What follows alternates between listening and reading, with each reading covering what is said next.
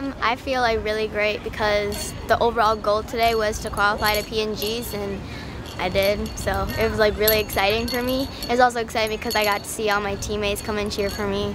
So it was a really fun meet. Well, you uh, start off with a killer bar set, rocky bar set, and then went over a beam. And for you, a little bit shaky. Can you just talk a little bit of kind of what you're going through your mind on beam today? Um, for beam, I was focusing more on my series, and I was happy that I made my series. But then I like, kind of like, oh, I made my series now, so now I can like, you know.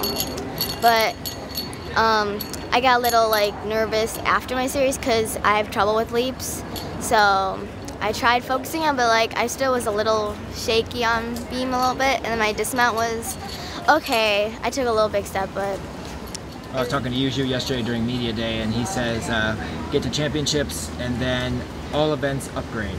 Can you talk a little bit about kind of what you're going to do uh, leading into this next uh, couple weeks, uh, leading up to championships upgrade wise? Uh, my goal for um, vault is to try to get a double, but if it's bad, I'm going to do full, but that's the overall goal for vault. Um, floor, I'm trying to add my full in, and then I'm going to try to do one and a half step out to two and a half.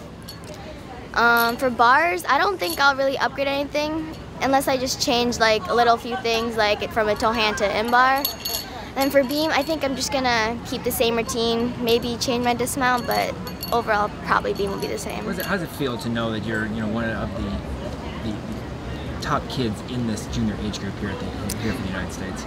It's actually like really like pumped, like oh I'm really good. So everyone kind of is like oh I know her, and I'll be like yeah, but.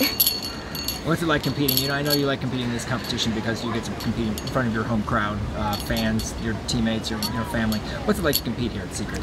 It's really fun because you get to see, I get to see all my friends and like old teammates and stuff.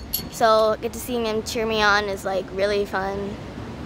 And then uh, looking forward now here in the next couple weeks, um, what's the focus? What are you going to look to in your training to uh, get ready for P&Gs? Um, probably a little bit on form and consistency because um, on beam I was a little shaky, so I'm trying to have hit a solid beam routine for championships, but just overall just be like stronger and more confident.